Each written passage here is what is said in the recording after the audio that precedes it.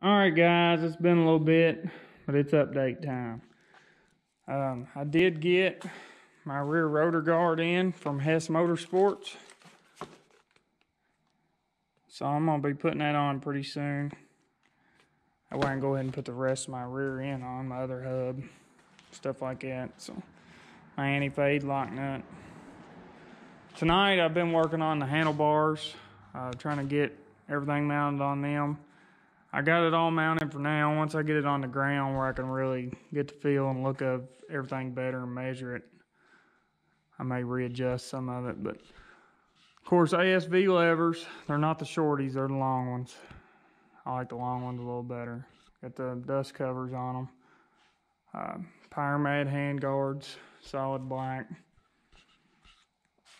Of course, I went ahead and hooked my throttle cable up so I could put my throttle assembly together and I put my clutch clutch cable through the, the perch. That way I could put my dust cover on that one. So, yeah. ASV lever this side, of course. Got my throttle all put together and on there.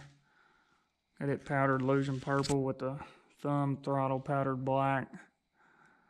I went with a 450R front master cylinder. The front master cylinder on this one was completely roached. I mean, it could have been fixed, but it's more trouble than it's worth. I just bought a new 450R Master, and I had this uh, Nax Racing Master cylinder cover, so slapped it on there, brand new with a sticker. I found it in a box of 250R parts, so. Black, purple, and billet's gonna be the colors. Very little billet, but there is gonna be some. So that's why I had it, I thought, well, I'll just put it on there. It's kind of cool. So anyway, Step back here, let y'all get a look at it. It's coming together pretty good. I'm tickled with how the bar setup looks. I can't wait to get it on the ground though and actually sit on it and get a feel for it. It'll be a little bit better, I'm sure. Other than that, um, I did get my hood and my tank cover.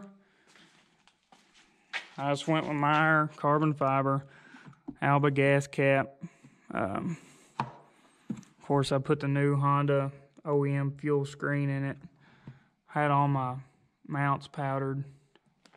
Actually, I painted those and powdered this one. New grommets.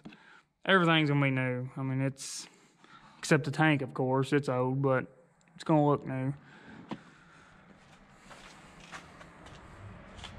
And then my hood, Meyer carbon fiber as well. Uh, this grill, I found it on eBay. Uh, I don't like the empty holes. It just, to me, it looks tacky. So I got to looking for grills. I found this guy on eBay. He is Holt 250R. So very cool guy. Hooked me up with the black one. Uh, so if anybody wants a grill for their Meyer hood, hit him up on eBay, Holt 250R. So other than that, guys, I do have my exhaust. CT Racing mid-range exhaust. I'm gonna clean it up. It was actually on that other 87 I bought and I pulled it off. I'm gonna reuse it on this one. So should be pretty sweet. My motor is going back together. Um, there's I gotta have the water pump cover powdered and I had to get a different piston. Messed up and sent me the wrong piston. So it's gonna be 66 and a half millimeter bore on it. Um, it looks, it's gonna look good.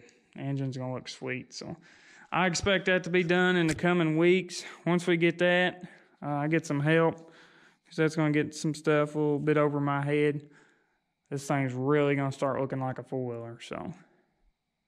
And once my shocks get done, as soon as my shocks get done, we're putting this thing on the ground. That way we can, uh, I don't know, I just to me, it just takes away from it being up here on these on the stand. So, anyway, guys, that's a quick update. I did put my fuel petcock on there. So, got a new rubber end for the shifter, all that stuff back from powder coat, kicker, brake pedal, all that good stuff. So, all right, guys. Catch you on the next one.